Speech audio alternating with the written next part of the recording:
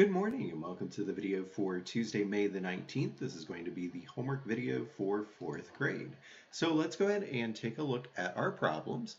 I've written everything in. I'm just going to kind of talk through different things. So because there are multiple ways to do it, um, the way that I chose to do it was to go ahead and split this up. So I was doing 12 times 9 to get 108 plus 7 times 5 to get 35, and that gives me 143.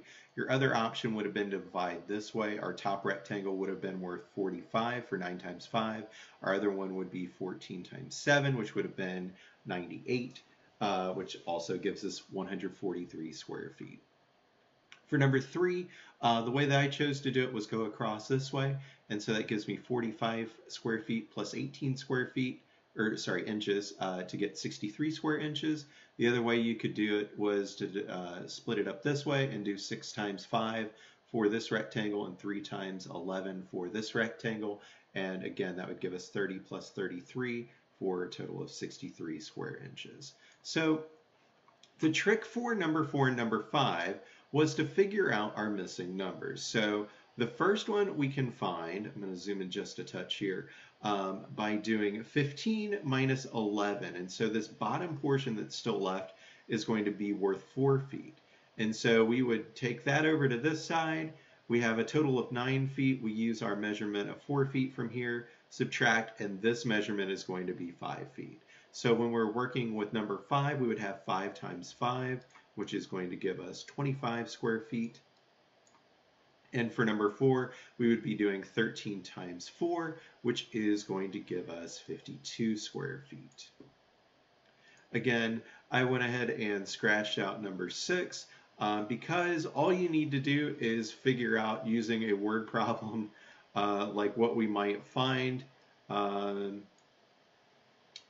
on one of the other pages and just kind of change the numbers. And I don't find those particularly useful. Uh, so number one, the strategy that I went with was to go ahead and subtract because 20 times 5 gives me 100. I can go ahead and find the measurement for this side of 2.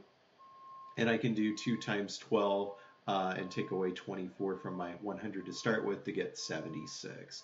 And so other options that you could do would be to do 12 times 3 uh, for this rectangle and you could do 5 times 8 for that rectangle, add them together.